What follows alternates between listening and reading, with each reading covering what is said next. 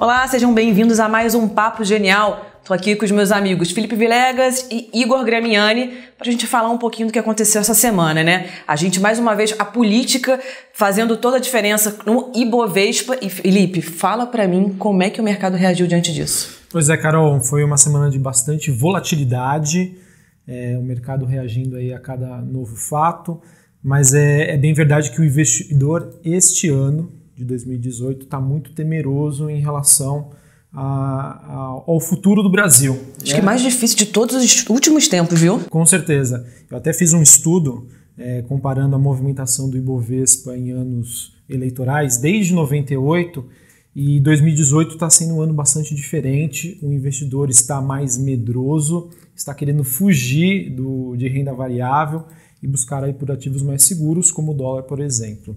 Mas enfim, muitos investidores me perguntam, Felipe, já é hora de comprar bolsa, a bolsa caiu bastante, está num preço atrativo. Sim, bolsa está num preço atrativo, mas se a gente também pegar um outro parâmetro que eu utilizei, é que em anos eleitorais o mês de setembro costuma ser um mês de queda, um mês de baixa.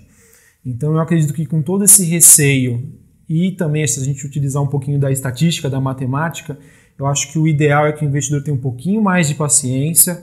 Pode ser que a gente tenha aí mais quedas à frente e a gente consiga comprar ah, boas ações de boas empresas a um preço mais interessante. Não compre ações hoje é isso não, né? Por favor. É. Enfim, para o investidor de longo prazo, acho que é sempre válido, né? Ele não deve olhar preço. Mas se ele quer tentar otimizar, tentar pegar alguma barganha ali, ter um pouquinho de paciência, acho que faz parte. Igor, mostra pra gente, por favor, como é que performou o Ibov. Certo, é importante também a, a explicar para o investidor que assim, a bolsa esse ano ela está com uma rentabilidade zerada, nesse momento é menos 0,06. E para investir em renda variável, o investidor ele procura um prêmio de risco. Então, teria que ter algo superior a um CDI para que compensasse um investimento a gente sabe que o mercado financeiro é risco-retorno, então bolsa tem um risco maior, ele quer um retorno maior também. Isso não aconteceu em 2018, estamos no mês de agosto, mas não que não possa daqui para frente virar esse jogo. É claro que o Felipe já falou do mês de, de agosto, a gente está com menos 3,64 no mês, e, e, com essa queda desse mês acabou realmente zerando o ano. É, o, o Ibov no gráfico diário é tendência de baixa, temos até um canalzinho de baixo aplicado em vermelho. O suporte está no 74 885 pontos. E aí, se perder esse suporte, pode ir para paralela né, do canal de baixo. A paralela também é suporte, ela está no 72 770. E depois fundo mesmo, é só no 69 790 e 68 985. Então os fundos estão bem afastados. Está abaixo de média de 21, está dentro de canal de baixo, então não é legal o momento técnico de curto prazo para a bolsa.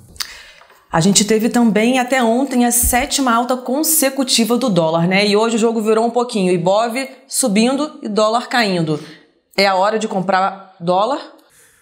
Essa é a pergunta de um milhão de dólares, Carol.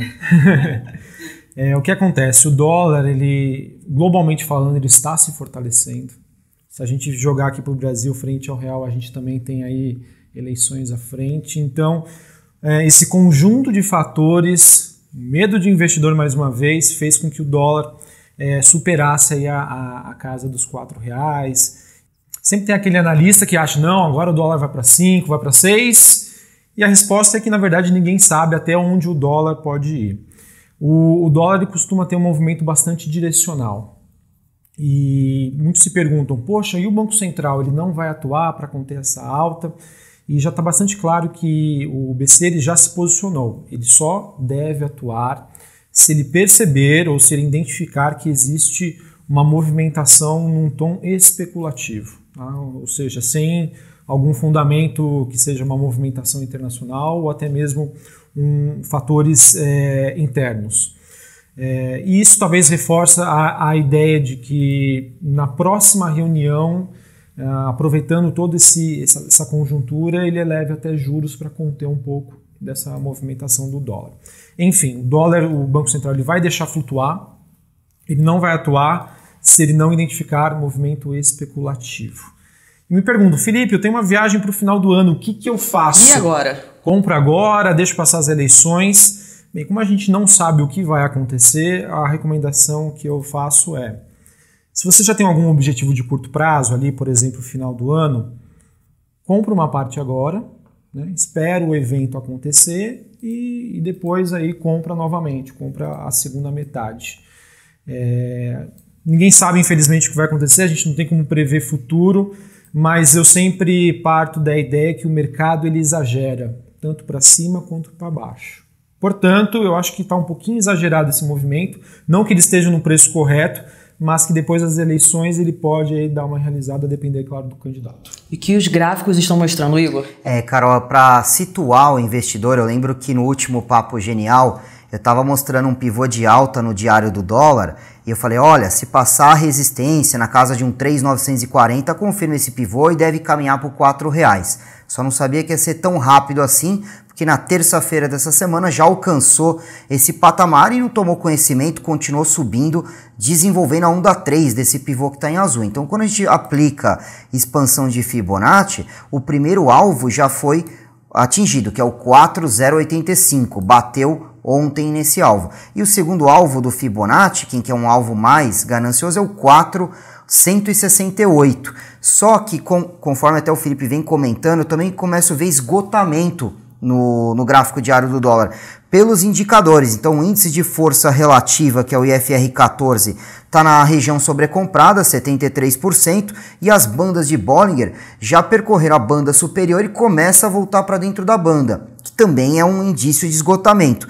E outro indício é o belo afastamento que tem da média de 21 períodos, ela ficou no 3,922. Para ter uma ideia agora, o dólar está no 4,097. A gente está falando aí de um afastamento de uns 174 pontos dessa média. Então, eu acredito que deve ter realização dessa pernada de alta forte. Isso tanto no dólar, quanto num índice, quanto numa ação, não pode subir em linha reta, tem que ter zigue-zague. Então, sobe, corrige, sobe, corrige, mesmo que a tendência predominante seja altista. Então, para a próxima semana, eu acredito sim numa, numa realização aí do, do dólar.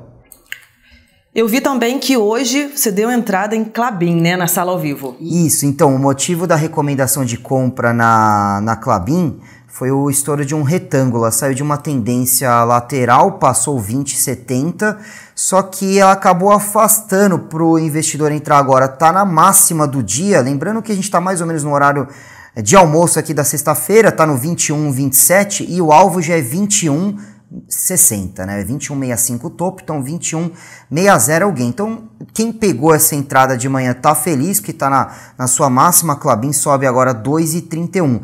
Poxa, Igor, perdi essa oportunidade. Se na próxima semana voltar a descer pro 20,70, é o pullback da figura gráfica, aí vale a compra. Se subir em linha reta, descarta essa oportunidade.